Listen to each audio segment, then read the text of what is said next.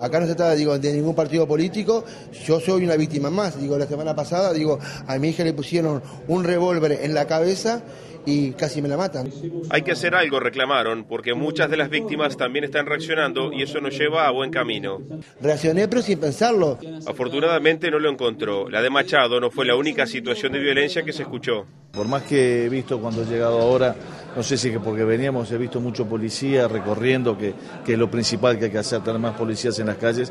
Obviamente que estamos con la campaña ya casi por suerte acercándonos a la meta de, de la reforma constitucional por la por la inconstitucionalidad que nos parece que, que va muy bien y acá la gente ha trabajado bárbaro, nos, ha dado una mano enorme, la gente ha firmado, también venimos a preguntar por eso, necesitamos el último empuje. Yo creo que, que nos hemos acostumbrado, uno sale a la calle de noche y mira para los dos lados para ver si no viene alguien, ¿no?